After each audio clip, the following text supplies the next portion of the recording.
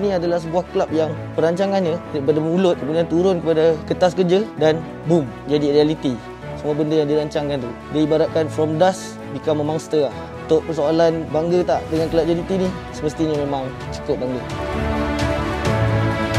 hubungan kelab JDT dengan penyokong sangat baik. Kita ada berbagai sesi yang Tunku Mahkota Johor sendiri turun padang. Seperti baru-baru ni kita ada sesi Brahma Mesra. Orang kata senang kata postmortem untuk tahun 2021. Jadi sesi-sesi seperti ni merapatkan lagi lah hubungan kelab JDT itu dengan penyokong. Dan penyokong sendiri tidak terasa terasing dengan kelab. Dan sesungguhnya ikatan ni perlu diteruskan sampai bila-bila.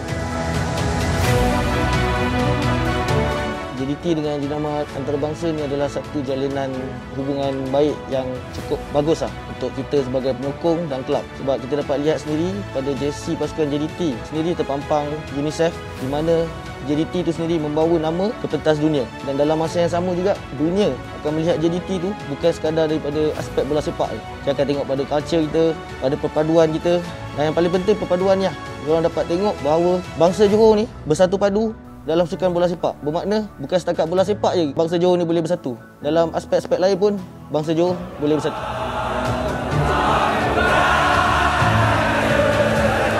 Ya daripada JDT ni orang kata satu pasukan yang dalam Malaysia ni tak pandang pun lah. Daripada zaman tu sehinggalah zaman di mana Tunku Mahkota Johor sendiri turun ke padang Stadium Lakin tu untuk memberi satu janji bahawa Tunku akan merevolusikan bola sepak negeri Johor. Dan benda tu sehingga sekarang mentaliti kemenangan tu ada pada JDT yang sekarang. Termasuklah stadium yang canggih, pusat-pusat latihan yang sedang membangun JDT ni akan jadi kelab yang serba lengkap di dalam Malaysia.